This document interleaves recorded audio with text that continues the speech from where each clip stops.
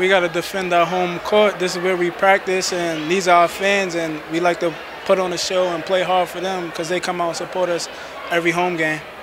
Dre, after a solid start, the team led 8 to 2 in the first half. Colgate came back with a 15 to 2 run, but you guys made it a game at the half.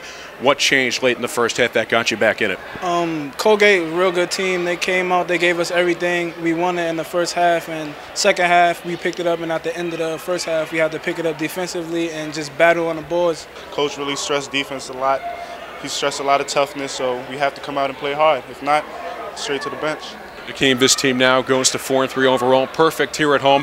How important is it to establish that home court dominance early in the season? I think it, it's a tough, it's a great feeling. It means a lot to us. We come out, we give our fans a show to watch, and we just got to come out and play hard every time.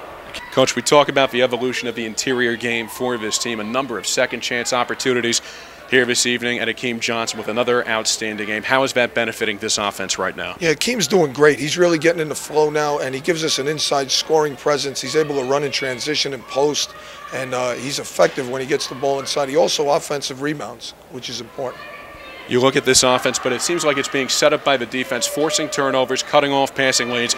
Seems like this group now is really in sync. Yeah, well, we have to play that way. You know, I was worried coming into this game, coming off two big conference wins, that we wouldn't be as focused. I don't know if we were or weren't in the first half. They hit shots, they did a good job, but um, you know, we need to play the same every day. And your point guard tonight, Dre Calloway running the offense effectively, 14 points, three rebounds. How pleased are you with his evolution in this system? He's doing great. He's come in and he's done. He's a junior college player. He's come in and helped us right away. He's a great kid.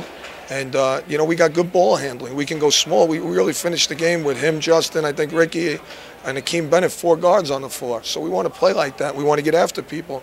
And I think, it, you know, we are turning the ball over too much, but I think in time, hopefully we won't with that type of ball handling. We just got to learn when to go, when not to go. Coach, another long road trip now, seven hours northwest up to yeah. Buffalo. You'll get on the plane. What are the points of emphasis now as you get set for your only MAAC opponent of the season uh, at Canisius? Again, you know, you got to keep revving it up every night. We're in a tough stretch. Uh, we got a bunch of games in a short period of time, and, and, you know, coming off wins, you can't get complacent. You can't start thinking about the wrong things. You got to stay focused. It's about the team. It's not time for guys to get shots and things like that. So we got to go up there with the same mindset. We have to prove we can win on the road against a MAAC team, which is, which is a very good team. And if we can do that, that would really, really show me something about our team. Uh, if not, we got to come back, regroup, and move on. Coach, congratulations on the win. We'll see you Friday in Buffalo. Great. Thanks, Seth. Absolutely. Glenn Braica, the head coach here at St. Francis College. We're back after this short break.